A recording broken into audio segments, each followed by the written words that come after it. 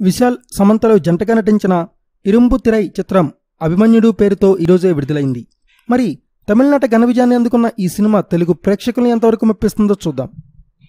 కథ విషయానికి వస్తే ఆవేశపరుడైన army officer Karunakar alias Vishal తన కోపం కారణంగా ఆర్మీ నుండి సస్పెండ్ అయ్యి యాంగర్ మేనేజ్మెంట్ టెస్ట్ కోసం సైక్రియాటిస్ట్ లత అలియాస్ సమంతను కలుస్తాడు. ఆ పరిచయం కాస్త ప్రేమగా మారుతుంది. ఆ తరుణంలోనే తన చెల్లి పెళ్ళి కోసం తీసుకున్న లోన్ తాలూకా డబ్బును అతని తండ్రి అకౌంట్ నుండి హ్యాకర్స్ కుట్టేస్తారు.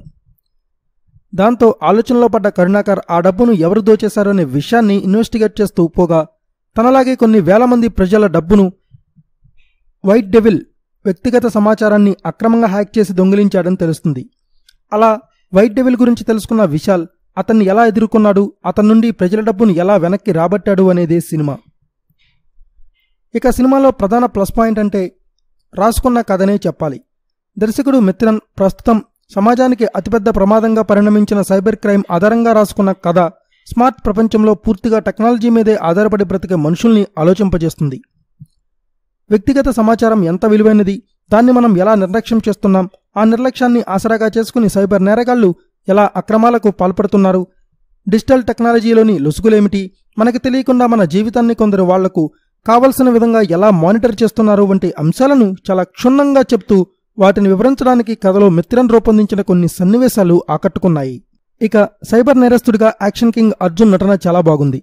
ఆయన పాత్ర వల్లే సినిమాలో తీవ్రత కనపడింది. ఇక ద్వితీయార్థంలో అర్జున్ విశాల్ మధ్య నడిచే ఇంటెలిజెంట్ వార్ తాలూకా సీన్లు కొన్ని ఆసక్తికరంగా సాగుతూ మంచి థ్రిల్ ఇచ్చాయి.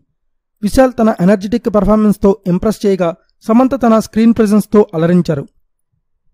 ఇక సినిమాలోని మైనస్ పాయింట్స్ విషయానికి వస్తే దర్శకుడు కథనాన్ని హీరో పాత్ర మీద ఆరంభించిన తీరు బాగానే ఉన్నా ఆ పాత్రలో క్లారిటీ లోపించడం ఇబ్బందికరంగా అనిపించింది.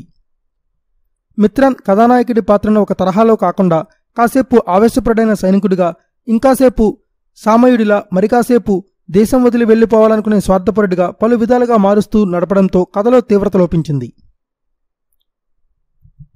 ఇక మొదటి అర్ధభాగం హీరో కుటుంబం మీదే ఎక్కువసేపు నడవడంతో కొంతసేపటికి నీరసం కలుగుతుంది. హీరో ఫ్యామిలీ ద్వారా దర్శకుడు పండిద్దామనుకున్న ఎమోషనల్ పెద్దగా వర్కౌట్ కాలేదు. సెకండ్ హాఫ్లో కూడా వచ్చే ఇలాంటి సీన్లు కొన్ని ఇబ్బంది పెట్టాయి. ఇక దర్శకుడు మిత్రన్ మంచి పాయింట్ను మాటల రూపంలో చెప్పడంలో నూటికి నూరు పాళ్ళు సక్సెస్ అయ్యారు. కానీ సన్నివేశాల రూపంలో వివరించడంలో మాత్రం పూర్తిగా ప్రేక్షకుల్ని సంతృప్తి పరచలేకపోయారని చెప్పాలి. అభిమన్యుడు చిత్రం కాన్సెప్ట్ పరంగా చాలా గొప్పగానే ఉంది. ఈ రోజుల్లో సైబర్ నేరగాళ్ళు ఎలా ఉన్నారు? మన వ్యక్తిగత సమాచారాన్ని దొంగిలించి ఎలా అక్రమాలకు పాల్పడుతున్నారు?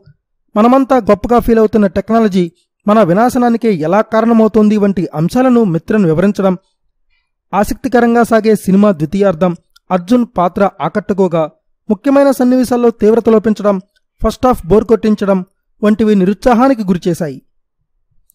మొత్తం మీద ఆలోచన గొప్పగా ఆచరణ అంతంత మాత్రంగా ఉన్న ఈ చిత్రం ప్రేక్షకులకు పర్వాలేదనిపిస్తుంది.